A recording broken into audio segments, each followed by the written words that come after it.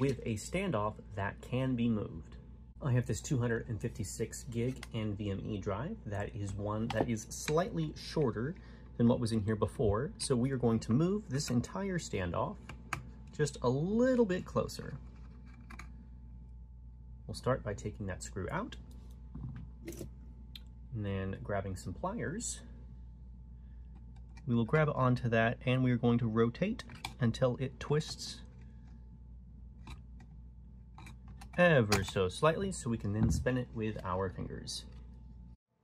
And then after putting that screw back in there, probably should just have left it in there to begin with, going to insert that standoff back in there and use the screwdriver to tighten it all the way in place, following up with some pliers real quick.